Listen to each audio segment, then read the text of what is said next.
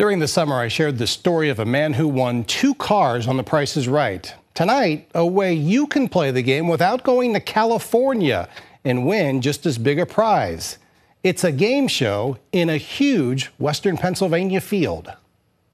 Irons Mill Farmstead has 150 acres of attractions. This year, the family fun spot in New Wilmington wanted to give away its biggest prize yet a new car. And we thought of doing a game show, and of course, car plus game show, price is right. Bob Barker was the easy choice to honor with this year's corn maze. You can walk through the cutout of Barker in a large field. Stacy and Rob Milliron made the decision in the winter to honor him. Immediately my mind went to Bob Barker. That as a kid, I remember staying home from school because you were sick. Bob Barker passed away August 26th, but the game show continues at Irons Mill. Contestants are picked each Saturday, Sunday, and Mondays that they're open.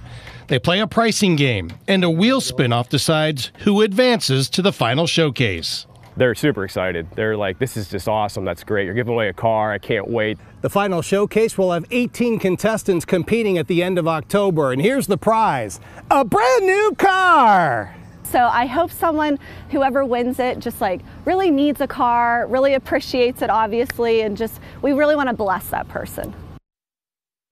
Yeah, that showcase showdown wheel is amazing. It's legit, just like the real thing. Rob bought it from someone who had made it in Washington state, shipped it across the country. The question you have is Did I spin it? You bet. Let's see how I would stack up if I was in the Showcase Showdown. Let me give this a spin. I want to say hi to my wife, my sister, my brother in laws, my sister in laws, my niece, my mother in law, everybody at home. We're going for this.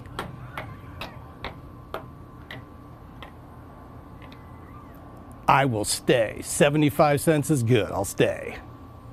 And I think 75 cents would be good enough to win. Yeah, that was great. Yeah. Nice light spin. You can't like just go all in the first time. See, you paid attention. All I those stories to spin you did. again, but the odds were against me of yeah. going over. So yeah. Well, hopefully you win the brand new car. I hope I can qualify for it. I love it.